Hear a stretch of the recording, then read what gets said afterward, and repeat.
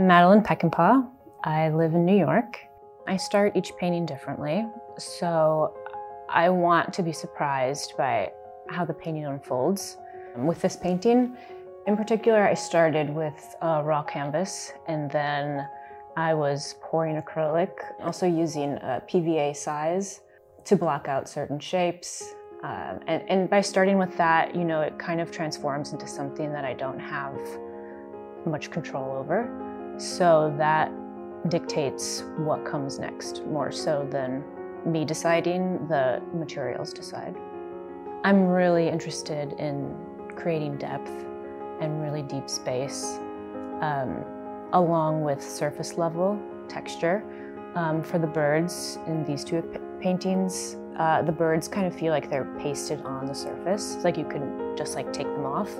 And I really like having that you know, bringing the viewer's eye right back to the surface of the painting.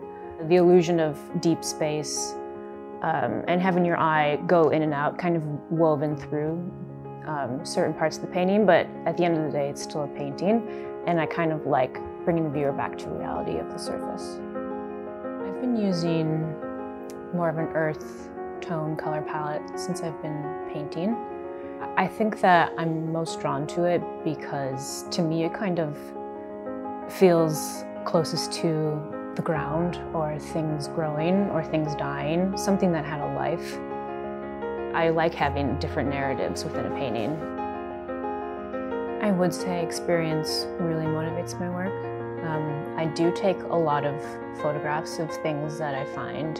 Photographs are typically small moments from a certain um, viewpoint that they become an abstracted image.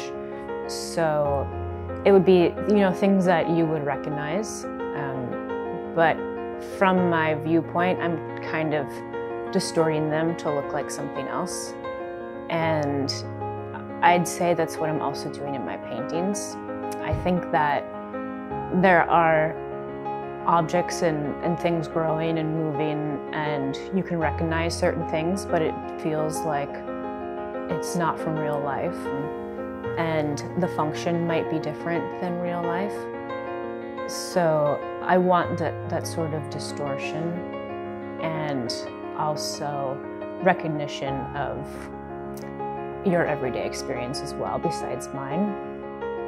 I really want the viewer to see things they recognize, but also question them.